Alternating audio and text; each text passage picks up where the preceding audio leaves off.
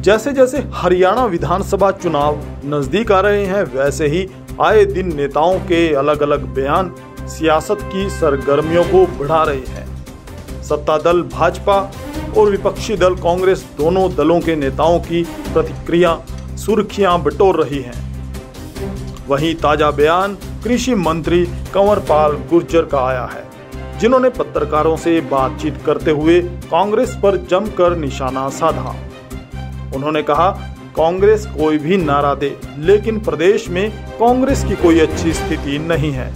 चाहे आपस की गुटबाजी हो, चाहे जनता के बीच लोकप्रियता। सभी दलों के साथ मिलकर लोकसभा में पाँच सीट कांग्रेस ने जीती है। नहीं, कांग्रेस के कहीं लक्षण नहीं है। अब कांग्रेस कुछ भी दे, अगर वो नब्बे पार भी कह दे पचानवे पार भी कह दे तो क्या अर्ज़ है? कुछ भी कह सकती कांग्रेस। लेकिन कांग्रेस के कोई लक्षण इस प्रकार के हैं नहीं। कि कांग्रेस की कोई अच्छी स्थिति हो, चाहे उनका आपस के टकराव है और चाहे जनता के बीच में लोकप्रियता की बात है। वो ठीक है, सारी पार्टियाँ इकट्ठी कि लोकसभा में पाँच सीटें वो जीत गए, लेकिन अब की बार जब विधानसभा का चुनाव होगा तब नहीं, क्योंकि कुछ काफ़ी झूठ बोल दिए उन्होंने। जैसे उन्होंने लोगों को बहकाने का काम किया, कि संविधान को खत्म कर देंगे, आरक्षण को खत्म कर देंगे, गरीब आदमी को डराने का काम किया। अब उनको पता चल गया कि भी बकाने वाले लोग हैं। और चाहे उन्होंने फिर ठकाठक पैसे देने की बात की तो लोगों को भी पता चल गया वो भी कुछ होने वाला नहीं है। तो जो झूठ है वो जनता के सामने उजागर होएगा।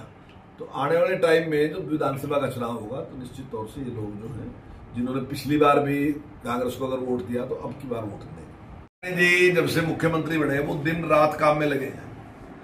और, हर प्रकार से, चाहे सरकार के जो काम है, उसमें भी, और उसमें से टाइम निकाल के फिर जनता की बात सुनने और उसके साथ साथ लोगों के बीच में जाना जनसभाएँ करना।